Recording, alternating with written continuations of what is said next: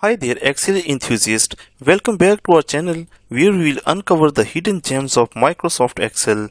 Today we have something special in store for you. We are going to learn the TOROW function in Excel. Whether you are a data analyst, a business professional or just someone looking to enhance your spreadsheet skill, this is a feature you wouldn't want to skip. So grab your notepad and let's get ready to master the art of TOROW function in Excel.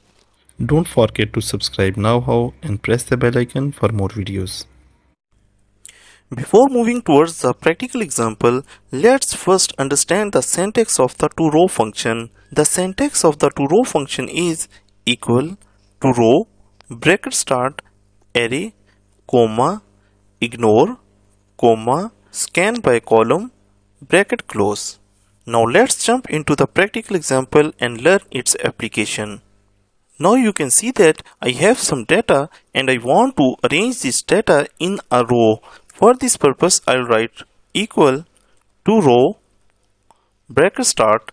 The first argument is the array so I have to select the all data. So after selecting the table I can close the bracket because the next two arguments are the optional argument. So I'll close this bracket and press enter. Now you can see that the data is arranged in a row but we have the empty cells which are written as 0 and the errors are also included in this data. To remove the empty cells and errors I have to specify the second argument that is the ignore. So I will write comma and now I have to put some values to specify what I want to ignore. 0 is actually the default which is built in set which means that nothing to ignore. If I write 0 I will get the same result as I got earlier. If I write 1 then you can see that the empty cells are ignored but the error is still in this list.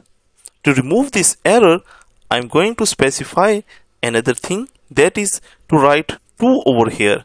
If I write 2 you can see that the error is removed but the empty cells is still in the list. To remove the empty cells as well as the error, I will write 3 because if I write 3, it will ignore the empty cell as well as the errors. So after writing 3, I am just pressing this enter. Now you can see that the blank cells as well as error are ignored in this list. Now we are moving towards the third argument in this formula. That is we want to scan it by column or by row.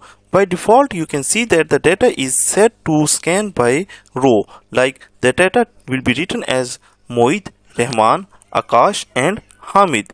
And if we want to scan it by column, we have to write true over here and then close this bracket. So now you can see that when I write true, it is going to scan it by column. Mohit, Hassan and Ali will come first.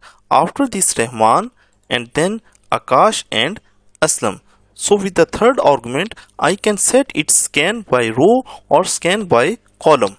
Once again, thank you for tuning in our channel. If you want to learn more Excel, check out our playlist we have created for you. It's right here on your screen. Remember the world of Excel is vast and ever evolving, but together we will conquer it one formula at a time. Until next time, happy spreadsheeting.